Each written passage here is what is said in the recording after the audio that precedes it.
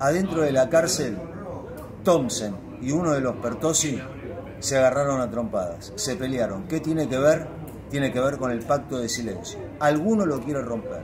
Esto del pacto de silencio se puede quebrar en cualquier momento. Esa pelea tiene que ver con lo que va a pasar en el tribunal. Hoy se habla mucho qué es lo que va a suceder con estos ocho ratios.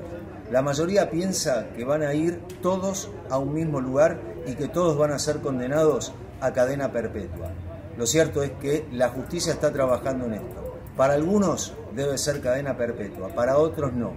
La justicia es la que va a decidir qué va a suceder con estos ocho ratios. Lo cierto es que falta poco para conocer la sentencia de estos chicos.